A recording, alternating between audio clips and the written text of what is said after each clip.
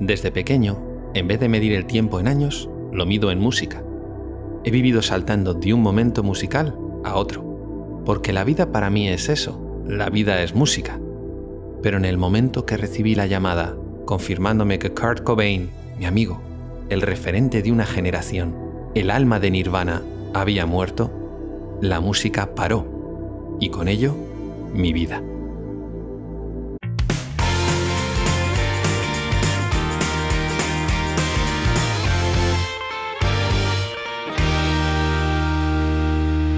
Bienvenido, bienvenida al podcast de Tremble, el lugar de las historias de música que emocionan. Hola, me llamo Dave Eric Grohl. Nací el 14 de enero de 1969 en Ohio, Estados Unidos, aunque pronto mi familia se trasladó a Virginia. Quizá porque ese es el nombre de mi madre, Virginia. Ella era profesora entre otros trabajos que hacía de noche y los fines de semana para mantenernos a mí y a mi hermana. Mi padre, James Harper Grohl, era periodista político. Se divorciaron cuando yo solo tenía 7 años, así que crecí con mi madre. Siempre me he considerado un niño diferente, desde que a los 7 me pusieron unos zapatos correctores que me impedían llevar las playeras chulas que mis compañeros llevaban. He sido el raro. Pero no os penséis, igualmente era un niño muy activo. Lo demuestran mis múltiples cicatrices. Desde que me atropellaron, sin consecuencias, a los cuatro años, pasando por cuando me abrí la cabeza con un bate de béisbol a los nueve. Tras el colegio, el sitio que más visitaba era el médico. The doctor is in. Empecé a interesarme por la música en mi adolescencia.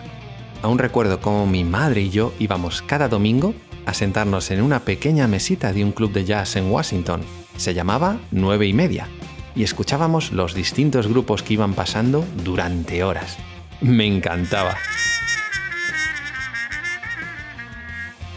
Aunque lo mío siempre ha sido la batería, mi primer contacto con un instrumento fue con la guitarra. Tomé algunas lecciones a los 12 años, aunque me cansé pronto, y decidí aprender por mí mismo. A esa edad yo escuchaba siempre lo más rápido, ruidoso y oscuro que encontraba, mientras que mi hermana Lisa, que es tres años mayor que yo, era más de la New Wave. Casi siempre acabábamos poniendo en casa David Bowie o Así Suxi and the Banshees.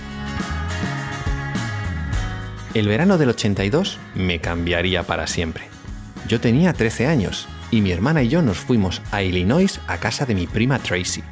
Por esa época ella estaba loca por las bandas de punk, así que nos llevó a ver varios conciertos.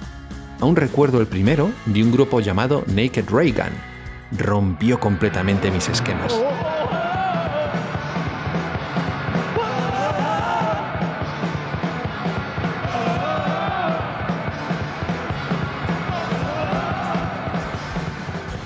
El caos organizado de su música se convertiría en mi mayor influencia musical, algo que luego se reflejaría en canciones como Smells Like Teen Spirit. Otra gran influencia fue Sandy, mi primer amor. Estuve con ella casi una semana completa y luego me dejó rompiéndome el corazón. Ese día me prometí que Sandy en el futuro iría a verme como estrella del rock y se arrepentiría de haberme dejado. Lo primero sucedió, lo segundo, no. Siempre fui mal estudiante, y eso que en mi primer instituto fui elegido vicepresidente de la clase. Eso me permitió utilizar el intercomunicador del colegio. Como podéis imaginar, yo solo ponía buenos grupos de punk para empezar la mañana con energía.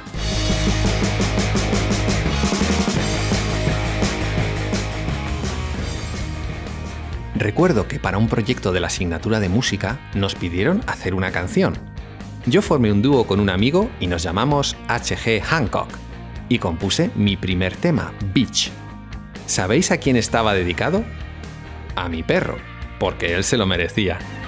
Le cogí el gustillo y seguí componiendo otros temas, uno dedicado a mi colegio y el otro a Ronald Reagan. Os tengo que confesar que fumaba bastante cannabis, así que mi madre me cambió de instituto para alejarme un poco de ese ambiente. En el siguiente duré dos años y me volví a cambiar. Mientras estaba en la escuela secundaria, toqué en varias bandas como guitarrista. Una de las primeras se llamaba Freak Baby. Fue durante ese periodo que empecé de forma autodidacta a tocar la batería.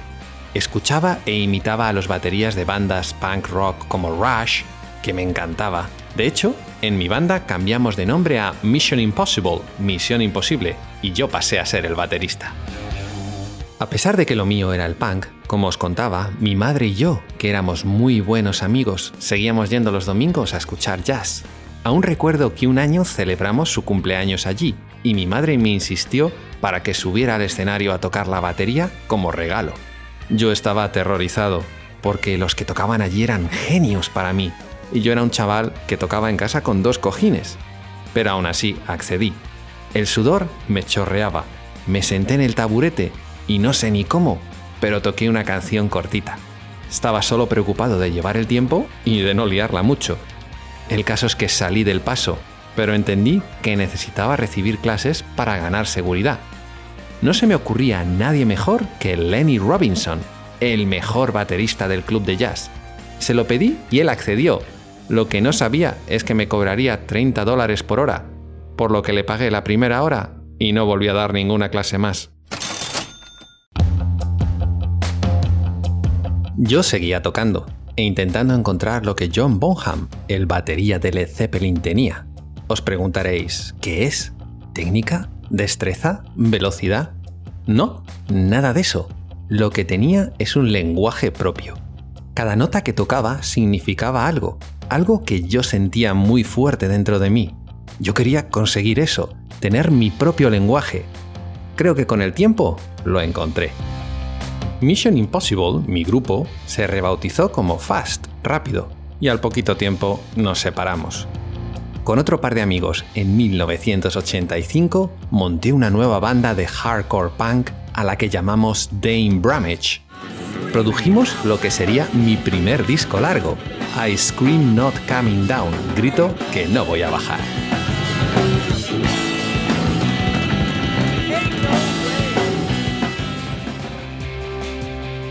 A los 17 años me llegó la oportunidad de mi vida. Llevaba años adorando a un grupo llamado Scream, Gritar, unos veteranos de la escena punk underground con gran reputación y con los cuales yo había aprendido a tocar la batería escuchando sus discos. Me sabía todas y cada una de sus canciones, de hecho soñaba con poder tocar con ellos. Un día, pasando por la tienda de discos donde me dejaba cada semana la paga, vi un cartel que decía Scream está buscando batería. No me lo podía creer. ¿Cómo un grupo que hacía conciertos internacionales desde hace años se anunciaba en una tienda de música en Virginia? Pero el caso es que era así. Por supuesto, me apunté a la audición. Aunque os contaré un secreto, tuve que mentirles y decir que tenía 21 años para que no hubiera problemas por ser menor.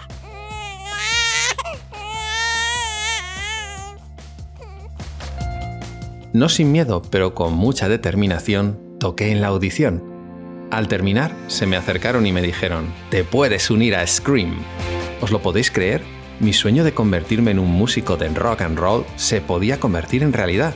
Pero claro, tenía que abandonar los estudios de secundaria siendo mi madre profesora, decepcionar a mi padre que quería que me dedicara a la política y dejar tirados a mis amigos del grupo de música. Y sobre todas esas cosas, estaba aterrorizado. Así que les dije que no. Pasaron unos meses y Scream vino a tocar en un bar pequeñito de mi ciudad. Por supuesto, fui a verles. El concierto fue una locura.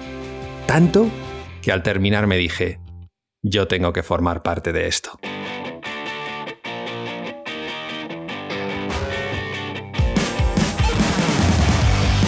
Reuní fuerzas y se lo dije a mi madre, que me contestó, espero que seas bueno de verdad. Y a mi padre, que me gritó, ¡Aléjate de las drogas! Ya era libre para recorrer el mundo con una banda de rock and roll. Porque yo tengo una banda de rock and roll. Empezamos con una gira de 23 conciertos por Estados Unidos. Por supuesto, no teníamos un duro, por lo que íbamos en una mini furgoneta de marca Dodge, donde tanto los miembros de la banda como los instrumentos encajábamos como un puzzle. Yo, que nunca había estado más allá de Chicago, alucinaba. No solo eso, sino que en la gira conocí a la mayoría de mis ídolos del punk rock de la adolescencia. Era un sueño hecho realidad. Antes de cada show, fumábamos hierba, nos tomábamos unas cervezas y salíamos a destruir el escenario. Pero igualmente ese viaje me enseñó más de la vida que lo que el colegio había hecho en mis primeros 18 años. Hasta 1990 grabé dos álbumes de buen hardcore punk con Scream.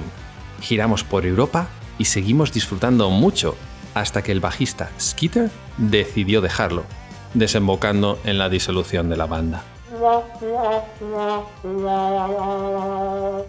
Me trasladé a Los Ángeles con alguno de los miembros de la ya ex banda y comencé a trabajar en una cafetería. En los últimos años había vivido mi sueño, incluso había tocado con Iggy Pop, ¿lo podéis creer? Pero ahora estaba sin grupo y sin un futuro claro hasta que un día oí cinco palabras mágicas. ¿Has oído hablar de Nirvana? Claro que sí, guapi. Por supuesto, había oído hablar de ellos. Su único disco hasta el momento, Bleach, Lejía, era de mis favoritos. Entre todo el ruido del punk, ellos habían escrito un álbum de canciones con mayúsculas. ¿Y qué deciros de la voz de Kurt Cobain? ¡Wow! El caso es que Nirvana estaba cambiando de batería, así que conseguí su número y les llamé. Al principio me dijeron que ya habían encontrado sustituto, pero que me habían visto tocar con Scream y les gustaba. Tuve la oportunidad de hablar con Kurt y nuestros gustos musicales encajaban como anillo al dedo, por lo que al final me ofrecieron unirme a la banda y trasladarme a Washington con ellos. De nuevo me encontraba en la tesitura de dejar a mi familia. Esta vez no eran mi padre y mi madre, sino los ex compañeros de mi banda con los que vivía. Tras dos años recorriendo el mundo, éramos como hermanos. No sabía qué hacer, y como siempre sucede cuando estoy en esa situación, llamé a mi madre. ¿Sabéis lo que me dijo? Que en ciertas ocasiones en la vida hay que anteponer tus intereses a los de los demás, con lo que me despedí de mis compañeros y me uní a Nirvana en 1990. Kurt Cobain y yo vivíamos en un cuchitril en Washington. Él dormía en la única habitación que había y yo en mi saco de dormir al lado de su tortuga. Era muy fan de las tortugas.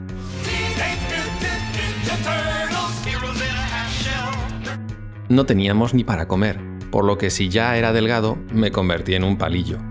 Cuando llegó nuestra primera paga, no me lo podía creer. 400 dólares. Toda mi vida lo único que había hecho era sobrevivir, por lo que eso era un auténtico dineral para mí. Me sentí como si ya fuera una estrella del rock millonaria, y como tal, me lo gasté casi todo en una consola. No fueron pocas las veces que pensé en volverme con mi madre a Virginia, pero siempre había algo que me ataba, la música. Por muy disfuncional que Nirvana era, cuando nos poníamos a tocar, la magia surgía.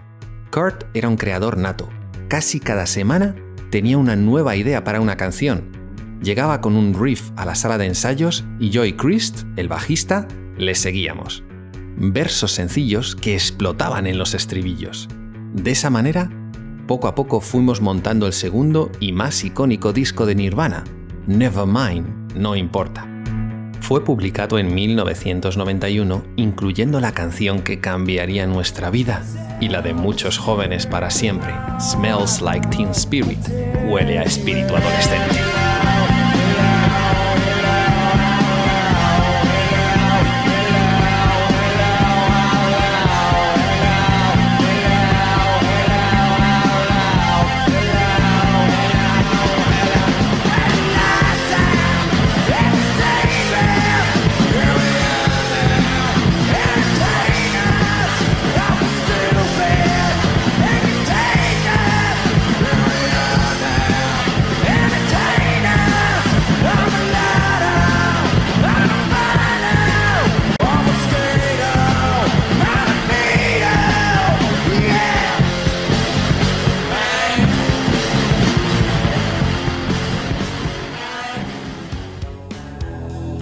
A mis 22 años comenzaba la gira de presentación del disco.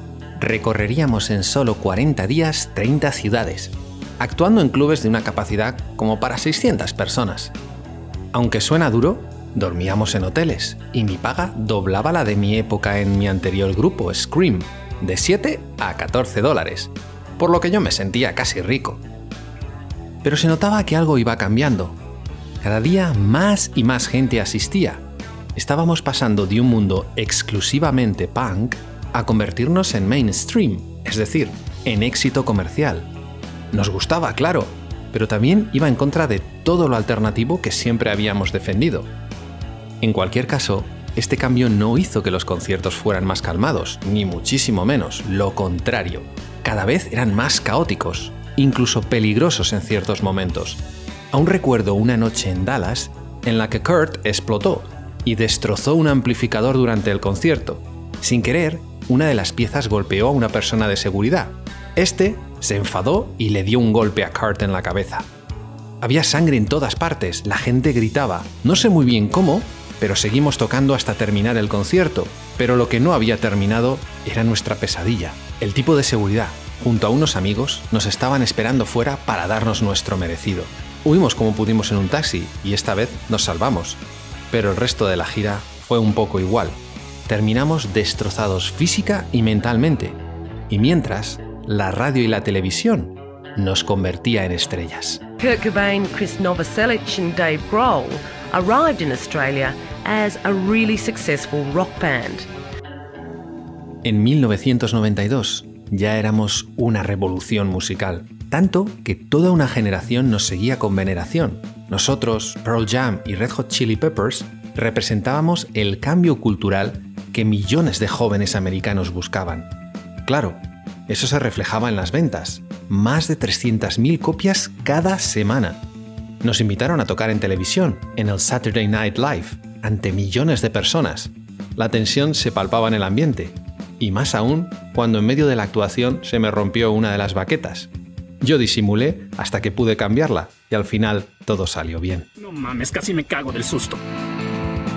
Aunque amigos, Nirvana éramos tres personas que vivíamos nuestras vidas independientemente y nos juntábamos para ensayar o ir de gira. Una de las veces que nos reunimos antes de un tour que nos llevaría por Japón y Australia, noté a Kurt muy frágil. Descubrí que estaba consumiendo heroína, y a pesar de que él nos dijo que no era nada, con el tiempo se vería que sí lo era. El caso es que nos fuimos de gira y la cosa resultó mucho mejor de lo que pensábamos. Al volver, como siempre hacíamos, cada uno retomó su vida. Yo pasé un tiempo en Hawái, mientras que Kurt se casaba con su novia Courtney Love y tenían a su hija Frances Bean. Yo no lo esperaba, pero en breve recibí noticias suyas. Resulta que quería cambiar el reparto económico en la banda. Hasta el momento había sido a partes iguales. Tanto el bajista Chris Novoselic como yo, Dave Grohl, y el propio Kurt Cobain recibíamos la misma cantidad. Yo era consciente de que Kurt escribía la mayor parte de las canciones, así que me pareció bien cambiar el reparto. Pero él nos pidió que además aplicara de forma retroactiva, es decir, a los ingresos obtenidos por nuestro álbum Nevermind. Hubo muy mal rollo y estuvimos incluso a punto de separarnos, pero tras una semana discutiendo llegamos a un acuerdo. Le dimos el 75% de las composiciones, incluidas las antiguas. Nos pareció un reparto justo. Al año siguiente, 1993, lanzábamos el tercer álbum de Nirvana, llamado In Utero, en el útero. Cambiamos de productor, y a pesar de que Kurt no quedó muy contento con la grabación, esta sonaba menos artificial que el disco anterior. El éxito también fue algo menor, pero aún así la MTV nos invitó a hacer un Unplugged, ya sabéis, un concierto acústico en directo. Fue algo memorable, un álbum que hoy en día es historia de la música, porque en él se revelaba la profundidad de las composiciones de Kurt, entre ellas el genial Come As You Are, ven tal como eres.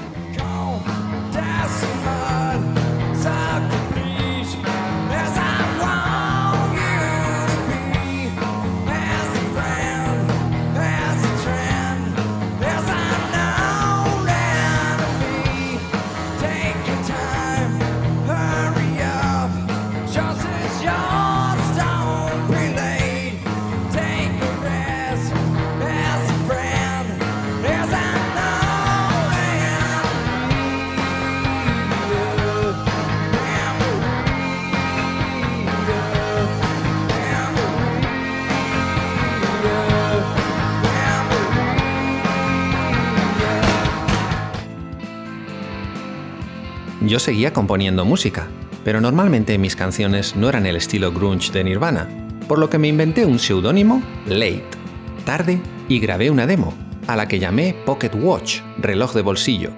Solo se editaron 100 copias en casete y se las regalé a mis amigos. Yo vivo para dar.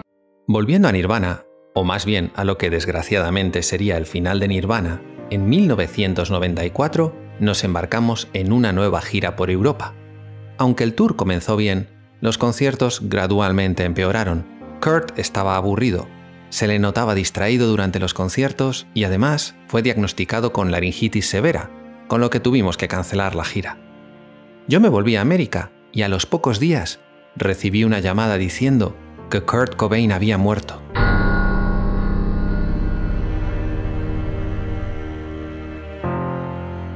Rompí a llorar. Mi amigo, mi compañero, el gran músico ya no estaba. Al poco tiempo, el teléfono sonó de nuevo, diciendo que podría ser que viviera. Oh, no os imagináis el alivio.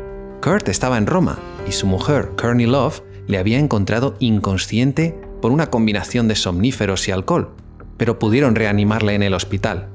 Su familia le convenció de entrar en rehabilitación para luchar contra su adicción a la heroína. Kurt aceptó pero a la semana se escapó, voló a su casa de Seattle y se pegó un tiro. Esta vez no había segunda llamada para decirme que se recuperaría. Kurt se había ido de mi vida y de la de todos. Yo tenía 25 años y toda la vida por delante, pero por primera vez la música me producía dolor. Cada nota me recordaba a Kurt y a Nirvana. Por suerte el tiempo fue pasando, y aunque la herida seguía viva, me ofrecieron unirme como batería a Pearl Jam e incluso al increíble Tom Petty, con el que llegué a tocar una vez en televisión. Recuerdo esa experiencia, fue memorable y todo un honor. Pero yo no me imaginaba de nuevo tocando la batería en la parte de atrás de una banda. Esa etapa de mi vida ya había pasado. No quería ser recordado solamente como el chico ese que tocaba la batería en una banda legendaria, por lo que me dediqué durante un tiempo a componer sin más, sin un objetivo claro. Todo avanzaba, así que yo también decidí continuar hacia adelante. En lo personal, me casé con Jennifer Leigh Youngblood, una fotógrafa de Michigan de la que me acabaría divorciando tres años más tarde, en 1997. En lo musical, mis composiciones mejoraban y llegó un punto en el que empecé a sentirme cómodo y un tanto orgulloso de lo que había creado, por lo que decidí alquilar un estudio por una semana y grabar los temas. Os preguntaréis si lo hice solo. Pues sí, yo solo. Toqué todos los instrumentos y canté todos los temas. ¡Este tío es un campeón! Era 1995 y tenía un disco listo, pero me faltaba un nombre, algo que ocultara que yo era el ex batería de Nirvana. Por aquellas estaba leyendo sobre ovnis, algo que siempre me ha apasionado, y en uno de los libros decían que en la Segunda Guerra Mundial a los objetos volantes no identificados les llamaban Foo Fighters. Me encantó, sonaba como muy misterioso, así que me quedé con ese nombre. El disco se publicó y era el momento de irse de gira. Como eso hubiera sido algo más complicado el hacerlo solo, recluté a algunos músicos y formamos una banda. Primero llamé a Pat Smear, que se había unido como guitarrista en la etapa final de Nirvana. Luego a mi amigo y gran bajista Nate Mendel y en la batería a William Goldsmith. Yo di un paso al frente y me convertí en el cantante y guitarrista principal.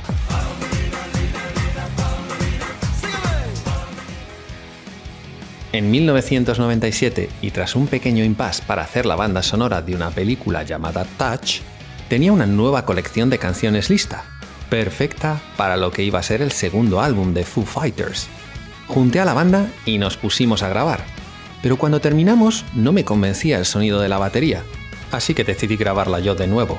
Claro, el baterista William Goldsmith no se lo tomó muy bien y abandonó la banda. Pero los problemas no terminaron ahí. Discutí con nuestro bajista Nate Mendel y me dijo que él también iba a dejar el grupo.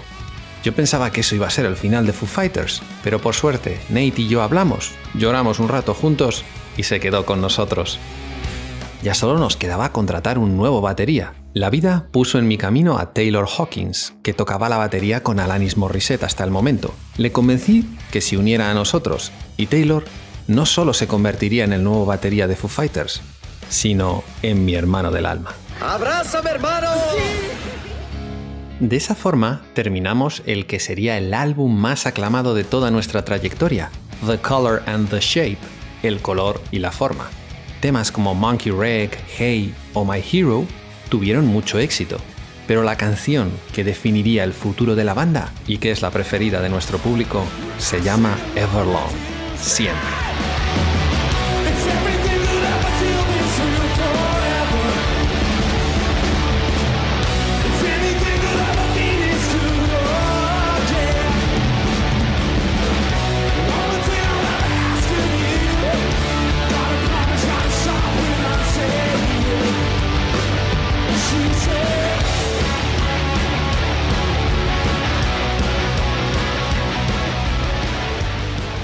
La escribí en el invierno del 96, dolido porque la relación con mi mujer Jennifer se acababa y porque el grupo estaba también en horas bajas, como os contaba antes.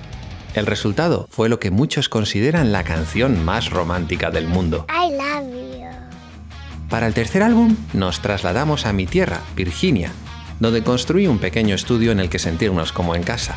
Se unió a la banda el genial guitarrista Chris Shiflett y así, en 1999 teníamos listo There is nothing left to lose.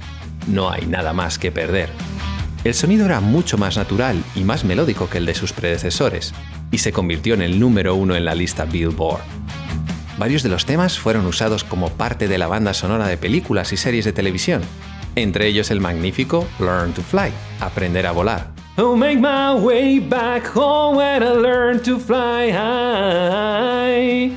En 2002 publicamos nuestro cuarto álbum, One by One, uno a uno.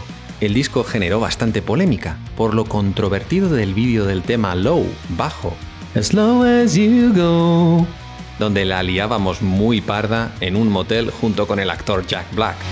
Pero eso no fue lo peor.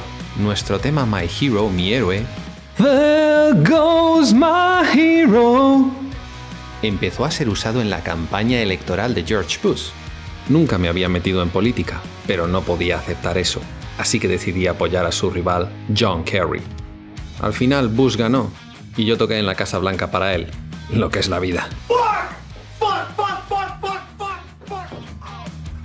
En 2003 me volví a casar, con la que hoy en día es mi mujer y la madre de mis tres hijas, Jordyn Blum. Por aquella época era modelo y la conocí por casualidad un día que estaba acompañando a Taylor Hawkins, nuestro batería, en una cita que él tenía. Ya sabéis, yo iba un poco de comparsa, pero el caso es que la vi y aluciné. Me bebí medio bar para conseguir el valor de hablar con ella. Entonces te dije, si quieres mi dinero, pues ven por él, porque no sé dónde está la Pero no lo conseguí, así que le escribí en un papel, serás mi futura exmujer. Parece ser que funcionó, y aquí estamos aún. Con ella he tenido tres increíbles niñas, Violet May en 2006, Harper Willow en 2009 y la más pequeñita, Ophelia, en 2014. No os penséis que fue fácil conciliar la vida familiar con una vida dedicada al rock and roll. Fue y sigue siendo un gran reto. Una vez tuve que ir y volver de Australia en dos días para poder asistir a un baile padre-hija en la escuela. El viaje tuvo de todo, turbulencias, vómitos, pero os omitiré los detalles.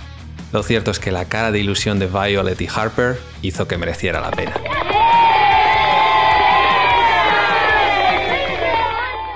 Ya os he contado que pasaba nueve meses al año fuera de casa, de concierto en concierto. Ahora intento que nunca sea más de dos semanas y en ocasiones, si coincide con las vacaciones, me llevo a la familia de gira. Lo cierto es que es un poco arriesgado, porque me ha pasado de todo yendo de tour, desde una vez que me arrestaron en Australia por conducir un quad sin carnet, hasta la vez que paré un concierto porque un tío comenzó una pelea en medio del público. No seguí hasta que se fue del recinto. He vivido mil situaciones complicadas, pero nada más difícil que entretener a unas niñas pequeñas. Antes de ir a cada ciudad, tengo que organizar qué voy a hacer con ellas, y os confieso que las jugueterías son mi salvación. ¿Sabéis? Siempre he tenido el sueño de tocar con mis cantantes de heavy metal favoritos. Lemmy Kilmister, Max Cavalera, King Diamond, así que en 2004 monté un proyecto paralelo a Foo Fighters llamado Probot. Como en otras ocasiones, compuse todas las canciones y les convencí para que se unieran. Fue muy divertido y además tuvo bastante éxito. Por ahora no he repetido, pero quién sabe. 2005 fue el año del lanzamiento del primer disco doble de Foo Fighters, In Your Honor, en tu honor. Por un lado, contenía las canciones con el tradicional sonido rockero de la banda, y por otro, versiones acústicas y mucho más tranquilas de los mismos temas. El mayor hit fue Best of You, lo mejor de ti. A ver si te suena.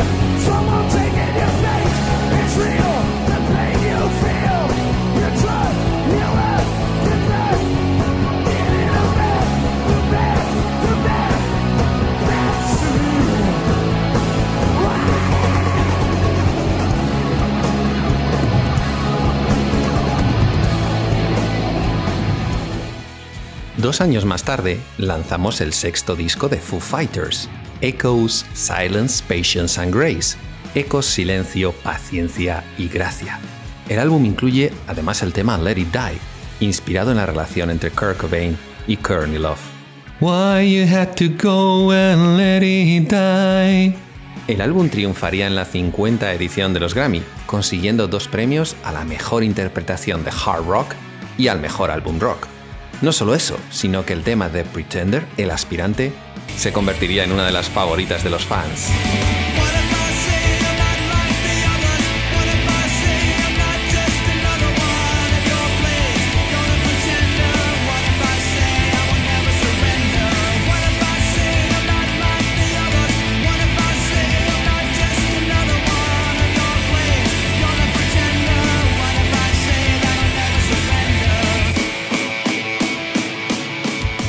Mi vida he dado muchos grandes conciertos, pero los dos seguidos que ofrecimos en 2008 en el estadio de Wembley, en Reino Unido, fueron muy especiales. El estadio estaba lleno a rebosar y nos acompañaron invitados como John Paul Jones y Jimmy Page de Led Zeppelin.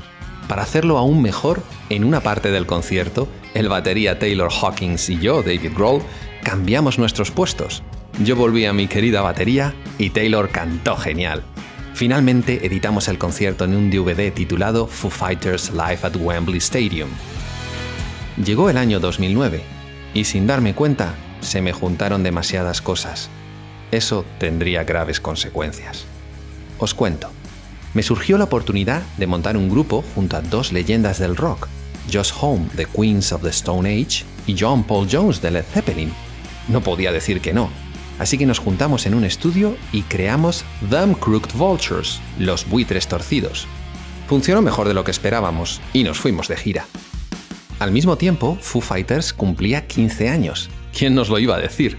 Así que lanzamos nuestro primer álbum recopilatorio, Foo Fighters Greatest Hits. Pero no solo eso, sino que me invitaron a la Casa Blanca para tocar para el presidente Obama, con los consecuentes nervios. Y para completar la tormenta perfecta, no dormía ni tres horas al día, porque mis dos hijas pequeñas no nos dejaban ni a mi mujer ni a mí. Claro, para sobrellevar todo esto tomaba toneladas de café. Eran demasiadas cosas, y todo desembocó en unos fuertes dolores de pecho. Acababa de cumplir 40 y estaba convencido de que me iba a dar un ataque al corazón. Acudí al médico y por suerte solo me prescribió que dejara el café y que redujera la batería, tres días a la semana como máximo, desde entonces he seguido las instrucciones. Tengo una familia que cuidar y muchos fans del rock a los que gritar.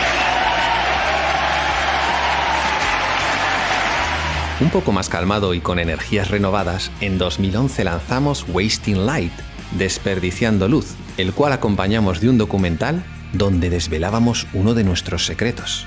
¿Queréis saber cuál es?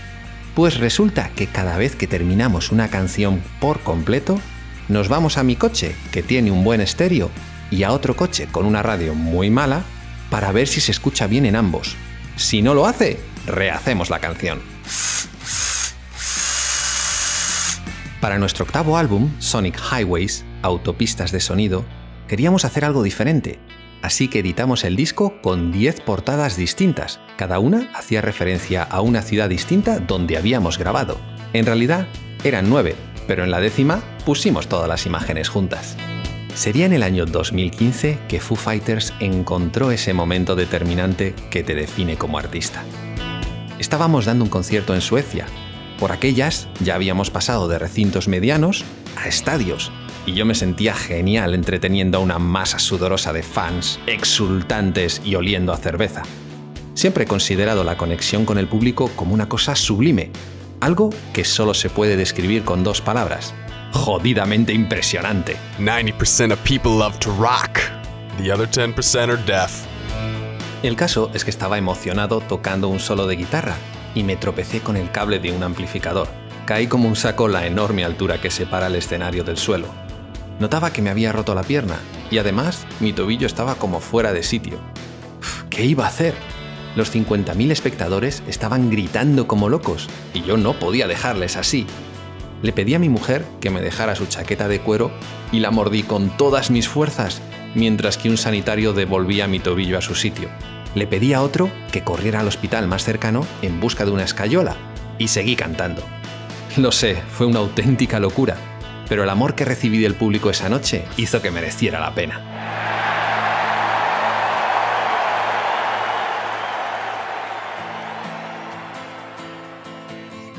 No sé si os lo había dicho ya, pero yo no sé de música. Me refiero a que no sé leer partituras. Todo lo hago de oído. Aún así no me ha ido mal, ¿verdad? Bueno, eso pensaba yo hasta que en el 2016 ocurrió uno de esos momentos que toda persona guarda en su corazón para siempre. Mi hija mediana, Harper, que acababa de cumplir 7 años, se me acercó y me dijo, Papá, quiero aprender a tocar la batería. Una sonrisa de oreja a oreja se dibujó en mi cara pero instantáneamente me entró el pánico. Yo nunca había recibido clases, salvo aquella hora por 30 dólares que os conté con el batería de jazz. ¿Cómo iba a enseñarla? El caso es que cuando empezó a tocar, el miedo se desvaneció, porque entendí que como yo, ella encontraría su camino, lo tenía en el ADN. Igual que mi hija mayor, Violet, que por aquellas ya cantaba en pequeños locales con su banda de instituto, por supuesto, a mí se me sale el corazón cada vez que la escucho cantar Aretha Franklin o Guns N' Roses. ¡Buah, ¡Qué orgullo! El noveno trabajo de Foo Fighters, Concrete and Gold, Cemento y Oro, llegó en 2017 con muchas sorpresas. Convencí a Paul McCartney, el cual, aunque no os lo creáis, le dio a mi hija su primera lección de piano, para que tocara la batería en el tema Sunday Rain, lluvia de domingo, Don't leave me drowning in your Sunday rain. Y a Justin Timberlake para que hiciera de corista en Make It Right, hazlo bien. How you gonna make it right? Este álbum supondría además la entrada oficial de Rami Jaffe como miembro del grupo a los teclados. En 2019 decidimos lanzar una serie de discos con caras B de nuestros álbumes, desde In Your Honor hasta Wasting Light, también empezamos a trabajar en un nuevo álbum, pero el virus llegó en 2020 trastocando los planes de todo el mundo. Para combatirlo, se nos ocurrió que sería muy chulo usar uno de nuestros temas y apoyar al personal sanitario que estaba luchando en primera línea. De esa manera nos rodeamos de un montón de artistas y cantamos uno de nuestros mejores temas, Times Like These, tiempos como estos.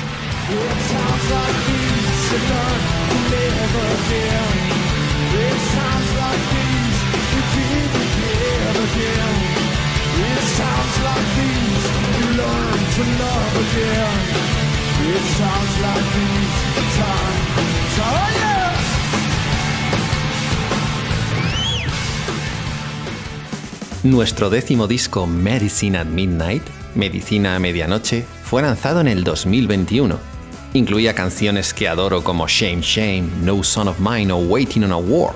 Pero no penséis que eso es todo. Siempre me ha encantado hacer covers. Ya sabéis, versiones de canciones conocidas. En 2021 llevé esa pasión un paso más allá y grabamos un disco completo con las canciones de los Bee Gees. Lo llamamos Bee Gees Hail Satin, granizo satinado.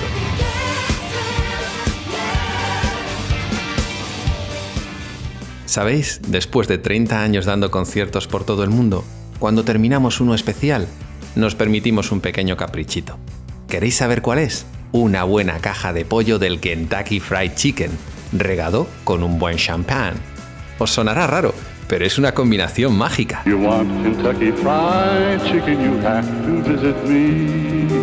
Supongo que será por el paso del tiempo y esa necesidad que todos tenemos de compartir nuestra historia y nuestro conocimiento, que en 2021 me embarqué en dos grandes proyectos. El primero, un documental en el que U2, ACDC, Metallica y yo mismo, entre otros, contamos nuestras experiencias en la carretera, esos largos días viajando apiñados en una furgoneta. Algo que puede parecer un suplicio, pero gracias a lo cual Foo Fighters sigue unido y yo estoy donde estoy.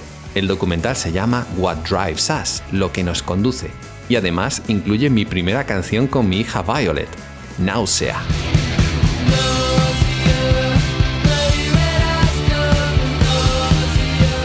El segundo gran proyecto es mi biografía. Se ha publicado en 2021 bajo el nombre Tales of Life and Music, Historias de Vida y Música, y en ella recorro cada paso de mi carrera profesional y los momentos que me han hecho lo que soy. Un padre, y un rockero. Se estima que soy el tercer batería más rico del mundo, tras Ringo Starr y Phil Collins, y por ello estoy muy agradecido. Pero lo que de verdad me hace feliz son dos cosas, las personas que quiero y la música. El éxito por el que tanto pedí al cielo me encontró. Y es que claro, hace mucho que le vendí mi alma al rock and roll.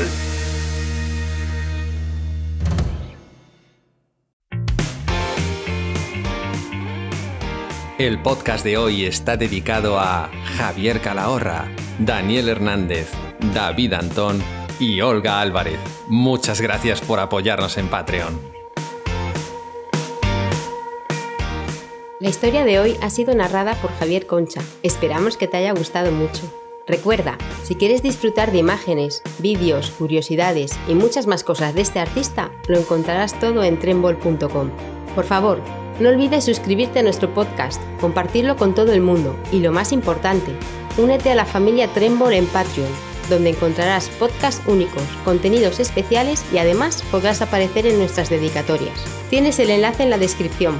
Muchas gracias y hasta la próxima Trembol. Te queremos.